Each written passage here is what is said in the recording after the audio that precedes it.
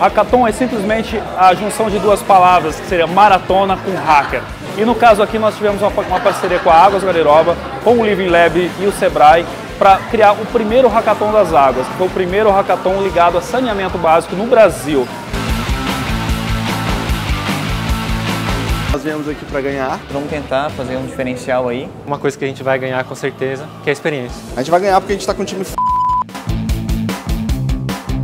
Você apresenta a ideia para o time, você fica questionando se aquilo é realmente bom ou não, e aí quando é mesmo, aí dá uma felicidade muito boa. Assim.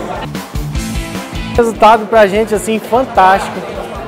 Primeiro hackathon, primeira experiência, equipes se ajudando, isso que eu achei incrível. É uma competição, mas é uma competição muito saudável. Então... Foi muito interessante a experiência, foi a primeira vez que eu e a minha equipe participamos, a gente nunca tinha participado de algo assim. A gente desenvolveu em coisas que a gente não sabia, aprendemos no momento, estudamos para fazer. Parecia que tudo estava contra a gente, quando as pessoas já estavam programando, a gente ainda estava sem ideia do que a gente ia fazer. Então ganhar foi realmente inacreditável, ainda não caiu a ficha. Eu sou nativo daqui, nasci e cresci em Campo Grande, mas não tive a chance que essa galera está tendo de criar tecnologia aqui na cidade. E eu acho que esse é um começo para um ecossistema muito mais maduro de startups e de negócios aqui na região.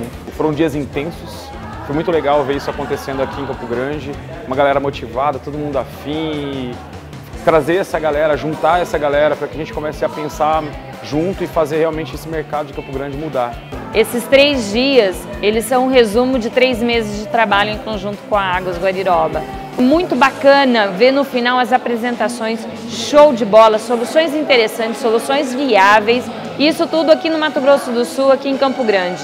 Foi uma, uma experiência muito boa, excelente, superou ampliamente nossas expectativas e certamente em Águas Guariroba seremos eh, muito entusiastas defensores de este tipo de iniciativas.